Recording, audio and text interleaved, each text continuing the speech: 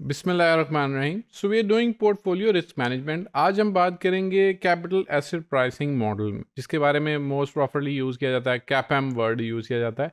It is a very renowned and intensively बहुत ज़्यादा इसका यूटिलाइजेशन है एक्सटेंसिवली यूज़ किया जाता है। So we should have a thorough grasp of that और ये आप कहीं पे भी अगर फाइनेंस की डिस्कशन करेंगे तो you should be well familiar with this term The capital asset pricing model is considered to be a centerpiece in modern finance. It is due to intensive use in both financial management and portfolio management. इसका बहुत repeatedly use होता है companies खुद भी use कर रही होती हैं investors भी use कर रहे होते हैं और analysts भी तो it has a great applicability. It is well known that riskiness of an investment के रिस्कीनेस को गेज करने के लिए बात करने के लिए हमारे इस मॉडल की यूटिलाइजेशन बहुत ज़्यादा है It is related to uncertainty, which is associated with expected outcomes from that investment अगर हम किसी इन्वेस्टमेंट की बात कर रहे हैं उसमें क्या उसकी अनसर्टेनिटीज़ है उसको ये कैप्चर कर रहा होता है। The total risk of investing in stock is compose of two distinct risk हमने ये पहले भी बात एक मॉडल में की हुई है कि दो मेन कैटेगरीज में रिस्क को डिफाइन किया जाता है। CAPM explains one of them और ये एज्यूम करता है जो सेकेंड वन है that is can be exclude मैं थोड़ा सा रिकॉल भी करा दूँ आपको कि हमने कहा था दो तरह के रिस्क हैं, एक सिस्टमैटिक और एक अनसिस्टमैटिक अनसिस्टमैटिक या specific risk are of individual company तो जब आप पोर्टफोलियो बनाते हैं तो ये रिस्क जो है वो एलिमिनेट हो सकता है। तो जो रह जाता है, वो रहता है सिस्टमैटिक रिस्क तो that is being captured in the CAPM जिसको मार्केट रिस्क भी आप कहते हैं। Malkin and XU identify this type of risk as systematic risk. कि ये मार्केट का रिस्क है, ये आपने लेना ही लेना है तो इसके अगेंस्ट आपको फिर रिवॉर्ड भी मिलेगा। Such kind of risk is undiversifiable ये आप पोर्टफोलियो बढ़ा भी लेंगे स्प्रेड कर लेंगे तो ये फिर भी रहेगा। तो CAPM help measuring portfolio risk and expected return associated with that rate तो ये कहता है कि जो आप ये रिस्क लेना है, ख़त्म नहीं हो सकता, जब आप ये रिस्क लेंगे तो उसके अगेंस्ट आपको what are the expected return you are going to get so this is the gist of the CAPM logic return is the quantitative measure of investment performance it represent percentage increase in investors wealth resulting from making that investment अगर मैं कोई investment करता हूँ वो share ले रहा हूँ या बॉन्ड ले रहा हूँ तो मुझे उसमें एक्चुअली क्या रिटर्न आएगा? That is being gauged in this particular mode specifically ज़्यादा इसका फोकस स्टॉक मार्केट में है।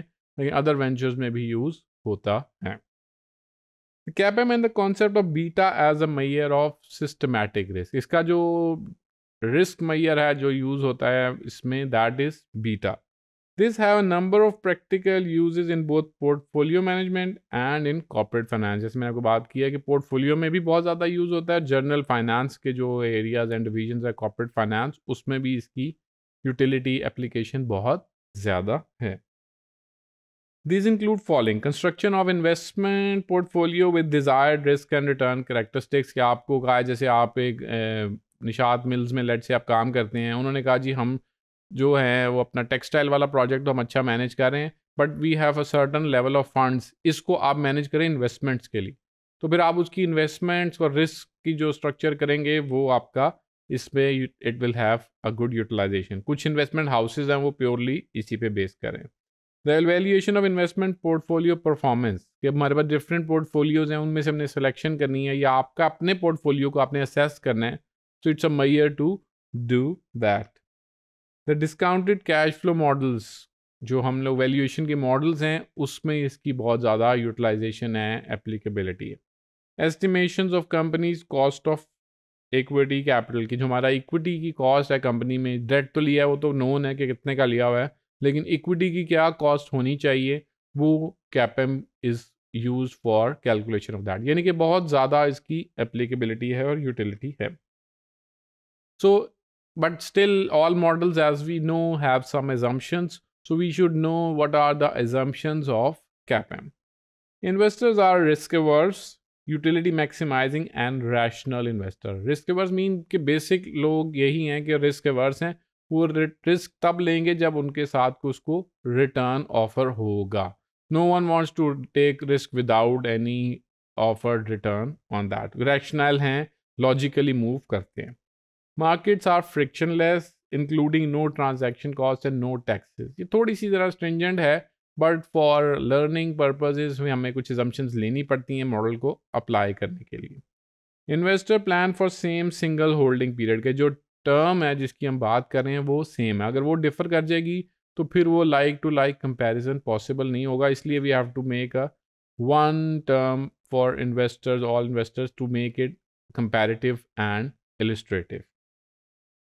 Investor have homogeneous expectations और बिलीफ कि वो जो उनके सेंटिमेंट्स हैं एक्सपेक्टेशंस हैं कैलकुलेशंस हैं, वो होमोजीनियस हैं। दे आर नॉट डिफरेंट तो ये एजम्पन को आपको देख के शायद लगता है कि थोड़ी सी ये टफ हैं, उसमें बात आपकी लॉजिकली भी ठीक है but every model have their own assumption जिसको लेके चलते हैं। Irrespective of these model assumptions which are little stringent still it is extensively use all investments are indefinitely divisible ये भी एक बड़ी इंपॉर्टेंट बात है। शेयर के केस में थोड़ा सा इतना इशू नहीं होता। बड़े प्रोजेक्ट में ये ज़्यादा होता है, या रियल इस्टेट वगैरह में।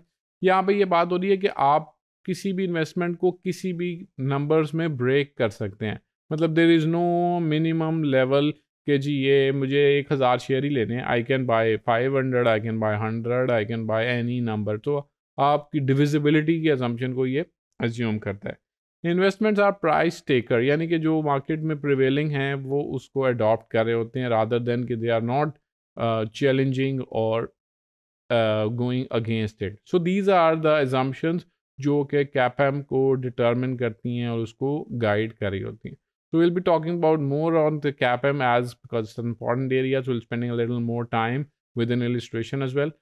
इसकी एक थॉरो अंडरस्टैंडिंग करनी है आपने और आई एल स्ट्रांगली अप्रिशिएट कि ज़रा इस पर थोड़ी सी रिसर्च करें कि ये कहाँ कहाँ पे यूज़ हो रहा है वेयर आर आप अगर अपनी if you are already working somewhere तो see where it's applicable in your organization और अगर आप स्टूडेंट हैं, ये जस्ट अभी रिसर्च कर रहे हैं तो then see with respect to the financial market and the industry के इसकी यूटिलाइजेशन क्या है और उसको स्पेसिफिकली अपने उसमें जो जॉटिंग पॉइंट्स हैं, वहाँ पे नोट करके अपने लर्निंग कर्व का पार्ट बनाएँ थैंक you.